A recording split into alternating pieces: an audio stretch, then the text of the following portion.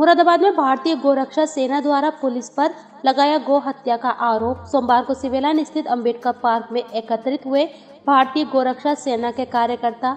आपको बता दें कि भारतीय गोरक्षा सेना ने जनपद मुरादाबाद में गो हत्यारों गोवंश के मांस का कारोबार करने वालों से मिलकर इस अवैध कारोबार को पुलिस चलवा रही है। इस बढ़ती गो हत्या व गोवंशीय मांस के कारोबार से गाय में आस्था रखने वाला समाज दुखी है। इसी को लेकर अंबेडकर पार्क से जुलूस की शक्ल में कलेक्ट्रेट पहुंचकर राज्यपाल को जिलाधिकारी द्वारा एक ज्ञापन सौंपा।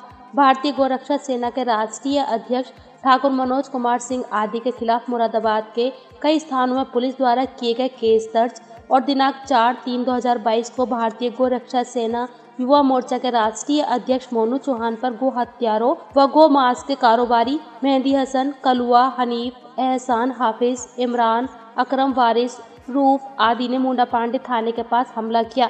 सूचना पर पुलिस में कोई भी कार्यवाही नहीं की गई। इसलिए गोरक्षा सेना द्वारा निम्न मांगों को लेकर कलेक्ट्रेट पर जोरदार प्रदर्शन किया गया। मेरा नाम वारिस अली कादरी, राष्ट्रीय कोष अध्यक्ष, भारतीय गोरक्षा सेना।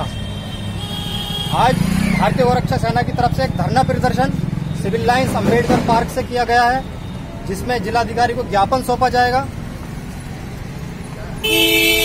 वो हत्यारे और भारतीय गोरक्षा सेना, भारतीय गोरक्षा सेना गोकसी पकड़ती है, गो तस्करों को पकड़ती है, लेकिन पुलिस कोई भी कार्यवाही नहीं करती, कोई एक्शन नहीं लेती है, बिल्कुल चुप्पे साधी बैठी है।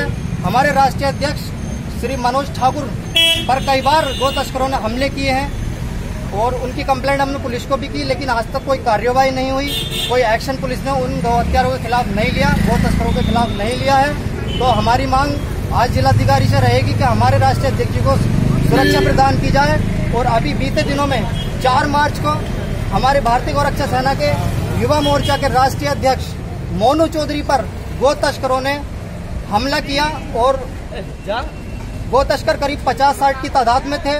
उन्हें घात लगाकर मारा पीटा बहुत बुरी तरह से।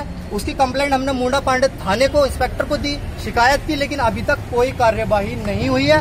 बीते दिनों में पिछले दिनों में हमारी गोरक्षा सेना, भारतीय गोरक्षा सेना ने दसियों, बीसियों को दसियों, बीसियों को हत्या पकड़कर पुलिस को सौंपी है, लेकिन अभी तक किसी पे कोई कार्यवाही नहीं की गई, कोई मुकदमा नहीं लिखा गया है, और इन गौ तस्करों पे, गो मांस का कारोबार करने वालों पे, ये समाजवादी पार्टी के सांसद डॉक्टर एस सी हसन का पूर्ण रूप से हाथ रखा हुआ है, वो पूरी तरह से उन्हें सपोर्ट करते हैं।